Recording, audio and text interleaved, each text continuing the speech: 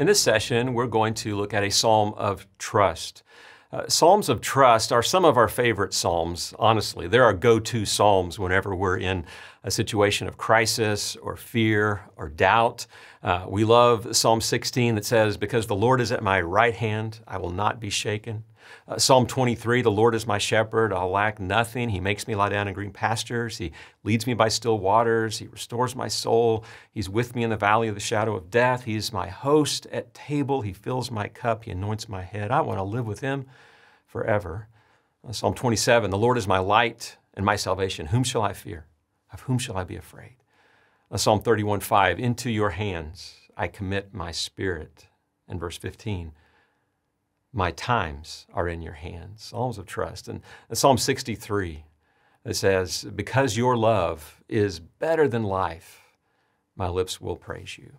And there are many others, and these are the Psalms that we go to in times of crisis. And my focus today is on a psalm of communal trust. Uh, there are also some songs that we pray together as a community, as a community of faith. Uh, these these uh, are found in Book Two. There's a group of psalms called uh, the Psalms of the Sons of Korah, Psalms 42 through 49. Now, the sons of Korah were priests, uh, liturgists, they were uh, writers, worship leaders uh, in the temple. And these psalms are all in this same genre of a, of a communal prayer in many ways. Well, Psalm 46 is at the center of those prayers. And uh, we're not exactly certain when it happened, but many scholars think that that psalm can be dated to the time of Hezekiah. That would be about 700 BC. Hezekiah was a king of Judah, and he was a very faithful king for the most part. He was a good king. And at this particular time in Israel's history, uh, there is a threat from the north, uh, the army of the Assyrians. Now, the Assyrians had already uh, come into the land about 21 years earlier, and they ravaged the northern kingdom. They carried away the 10 tribes into captivity. And uh, Hezekiah has been paying taxes. He's been a vassal state to the Assyrians. And he says, No more. Uh, God, you are God. We trust in you. And so we're going to not pay taxes to the Assyrians. And if they get upset and come to force the issue, we trust in you to take care of us. Well, the Assyrians did as expected, and they wanted their money. And so they came down in 701 BC and they began uh, to, to overcome the villages and towns of Judah, causing the people to flee to the capital city of Jerusalem. And this may be when this psalm was composed. And if so, the words are very appropriate because it begins with this statement about the nature of God. God is our refuge and strength, a very present help in times of trouble. We begin with these Psalms of trust by stating what they tell us about the nature of God, and that is that God is refuge. God is our strength. God is our very present help in times of trouble. And there'll be many more of these qualities of God in these 11 verses of this psalm. Uh, because the Psalms of Trust are what I would call Psalms of orientation. Uh, we said that laments are disorienting. They're those prayers that we pray when, when we're kind of lost and it doesn't make sense and when God is not acting as we think He should. But the Psalms of Trust are Psalms of orientation because they remind us of who God is, what His nature is, and, and what He will do. And because of this reality, the psalmist continues in verse 2. He says, Therefore, because of this truth, we will not fear. Though the earth give way, though the mountains be moved into the heart of the sea, though its waters roar and foam, though the mountains tremble at its swelling. And what the psalmist is describing here is, is literally the undoing of creation. On day three of creation, uh, it says that God separated the land from the water. He formed the mountains and established a boundary that the waters could not cross. This psalm is describing the opposite of that. It is saying, what if those mountains went back into the sea? In other words, this is the worst possible scenario. This is, this is end of the world kind of language. This is catastrophic. And so the psalmists say, even if the very worst thing happens, we will trust. You are our refuge, our strength, and our help. The psalmist continues to describe in verse 4 another resource that God is. He says in verse 4 There's a river whose streams make glad the city of God, the holy habitation of the Most High a river. It's an interesting detail. There's some speculation about uh, what this river meant. In the ancient world, many cities were built upon rivers. In fact, that's what made them great civilizations. Egypt had the Nile, Babylon had the Euphrates, Rome the Tiber. Israel, well, they had the Jordan, was not such a, a, mighty river. And certainly Jerusalem did not have a river. It's up in the hill country of Judea. But what Jerusalem did have was a spring, a little spring in the south uh, of the town uh, called the Gihon.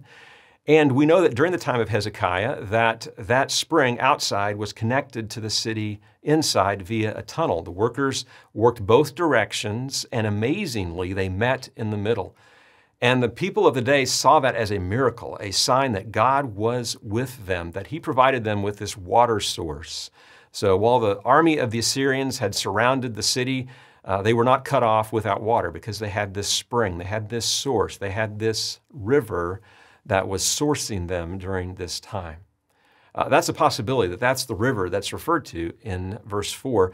It's also the possibility that it's just simply a metaphor for God Himself. Uh, Babylon had the Euphrates, Rome had the Tiber, Egypt the Nile, but Israel had God Himself. He was their river, He was their defense, He was their source of life. The text goes on to say not only that, but God has made Himself at home. Jerusalem is His holy habitation. God built his house and God moved in to Jerusalem. He lives in the midst of his people. Verse 5, he says, God is in the midst of her. She shall not be moved. God will help her when morning dawns. That phrase, when morning dawns, is another clue that this psalm was possibly written during that time of the Assyrian invasion. Uh, because if you read the account of that invasion in Isaiah 37, uh, it describes uh, the taunting that went on between the Assyrian uh, general Sennacherib and, and, Hezekiah and his men uh, from the city walls. And Hezekiah is defiant. He says, God is going to deliver us from this. We trust in him. They woke up the next morning. The people of Israel looked out from the city walls and they saw before them the camp of the Assyrians, and there was no activity because in the night, the text says that the angel of the Lord put to death 185,000 men. A plague of some kind. We don't know how God did it. But Sennacherib, this mighty general, limped back to his home capital city of Nineveh, went to the temple of his God to offer a sacrifice, and there he was assassinated by his sons. Just like that, the mighty Assyrian empire tottered and crumbled. And in fact, that's the very next verse Verse 6 The nations rage, the kingdoms totter, he utters his voice, the earth melts. The Lord of hosts is with us, the God of Jacob is our fortress. The Lord of hosts, the, the Hebrew word for host there is Sabaoth. It's often used of a host of angels. In, a military context, uh, angels that fight, battling angels. And indeed, that appears to be what the Assyrian army faced in the night was the Lord of hosts of angel armies that slew them. Not only that, but God is described here as a fortress, a fortress, a place of refuge. The people of Judah had fled to Jerusalem behind its walls, its fortress, but God was ultimately their fortress. Proverbs 18 says that the name of the Lord is a strong tower. The righteous run into it, and they are saved. The psalm concludes with an invitation. In verse 8, it says, Come, behold the works of the Lord, how he has brought desolations on the earth. He makes wars cease to the end of the earth. He breaks the bow, he shatters the spear, he burns the chariots with fire. The first invitation is to remember, to look back, to come and see, and to, to reflect on what God has done historically and trust in him. Look at what God has done in the past, how he's been with you and how he saved you and delivered you Trust Him in the present. Remember, come and behold what God has done. The second invitation is in verse 10 Be still and know that I am God. I will be exalted among the nations, I will be exalted in the earth. The Lord of hosts is with us, the God of Jacob is our fortress. Indeed, the most familiar words of this psalm are probably right there Be still and know that I am God. In other words, rest, relax, be calm, God is sovereign. God is in control. He is all of this. We can trust in Him. And indeed, the city did. At morning dawn, the army was gone. Now, I like to look at Psalms also through a New Testament lens to ask ourselves okay, let's move forward 700 years. How is this psalm perhaps experienced in the life of Jesus? And we don't have to go very far. We read in the first uh, chapter of Matthew, as Jesus is introduced to us, the angel says his name will be Emmanuel, which means God with us. God is with us in the deepest possible sense. He became one of us, humbled himself, condescended to be with us in physical form in Jesus Christ. God is Emmanuel, God with us, our fortress. Not only that, but uh, Jesus had this to say about a river in John chapter 7. On the last day of the feast, the great day, Jesus stood up and cried out, If anyone thirsts, let him come to me and drink. Whoever believes in me, as the scripture has said, out of his heart will flow rivers of living water. Now he said this about the Spirit, whom those who believed in him were to receive. For the Spirit as yet had not been given because Jesus had not yet been glorified. Jesus says that there is a river as well that sources us.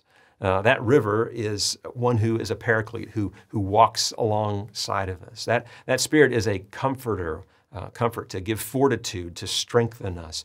Uh, that spirit uh, it makes, its, makes his home inside of us. Uh, 1 Corinthians uh, 6.19 says that we are the temples of the Holy Spirit. The Spirit is received uh, at our baptism, Acts 2.38. So we have the very presence of God uh, making his home in, in, in, our temple, in our bodies, with us. as the river of life that Jesus referred to flowing out of us. This psalm also makes me think of Jesus' words on the Sea of Galilee. You know the story. Jesus is asleep, he's exhausted, he's on the boat, and the disciples are there, and they're panicking because a storm has risen, and, and they're afraid they're going to die. They wake Jesus up, and Jesus commands the storm and says, Be still, be still. And you might think at that point that the disciples would say, That was close. Thank you. It's about time. But instead, the text says that the disciples at that moment feared a great fear. That's the Greek idiom. They were terrified. they went from being afraid for their very lives to being terrified that they were in the boat with God, the God who commands the storm. They were with him in the boat. Be still and know that I am God. And finally, this psalm makes me think of resurrection. It says that God will help us at break of dawn. And I think about that Sunday morning when the women went to the tomb of Jesus to anoint him with spices, and they got there and they were surprised to find the stone had been rolled away. The body was gone, the tomb was empty. And it's a reminder of this amazing truth that when we go through uh, death, that there will be a dawning. If we are in Christ, uh, when morning breaks, we will rise uh, with him. And that's good news. Uh, this psalm was the inspiration for one of the greatest hymns uh, in, in human language. It was written by Martin Luther, the great uh, reformer, about 500 years ago. Ein fester Burg ist unser Gott.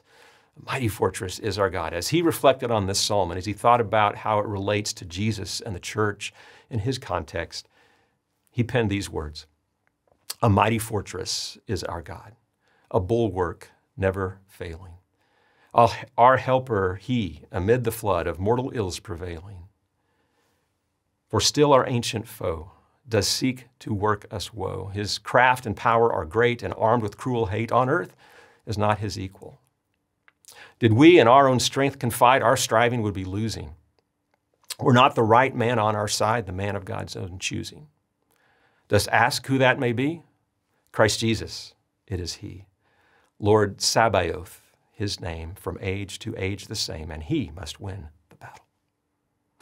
And though this world with devils filled should threaten to undo us, we will not fear, for God has willed his truth to triumph through us. The prince of darkness grim, we tremble not for him. His rage we can endure, for lo, his doom is sure. One little word shall fell him. And that word above all earthly powers, no thanks to them abideth. The Spirit and the gifts are ours through him who with us sideth. So let goods and kindred go, this mortal life also. The body they may kill, God's truth abideth still. His kingdom is forever. God is our refuge, strength, and ever present help in trouble. So we can rest, we can relax. We can be still and know that He is God.